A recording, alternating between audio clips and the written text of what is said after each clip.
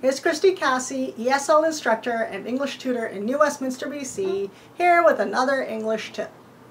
Another common error I hear from my students is the difference between using adjectives ending in ing and adjectives ending in ed. I hear a lot of people say, teacher, I'm boring. And I say to them, no, you're not boring. You're a very interesting person. And what they mean, or what they want to say, is maybe, teacher, I'm bored, meaning this activity is not very interesting. So when do you use adjectives ending in ed, and when do you use those ending in ing?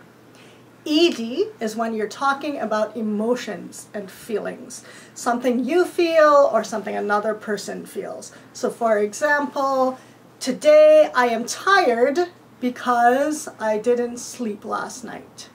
Or my friend is frustrated because her bus was late. She's not very happy. She's frustrated.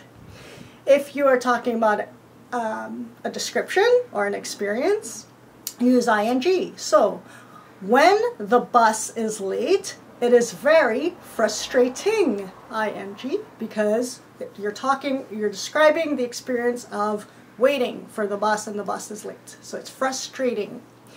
Um, another example, Vancouver is a very interesting place. You're describing Vancouver. What kind of place is it? So you use ing. So there's another quick tip. For more English tips, you can visit my website, www.kristyk.ca K-R-I-S-T-Y-K dot C-A. Yes, I like my name. Love my name, Kristy Kassie. Um, please contact me if I can help you improve your English. I would love to do that. And cheers for now.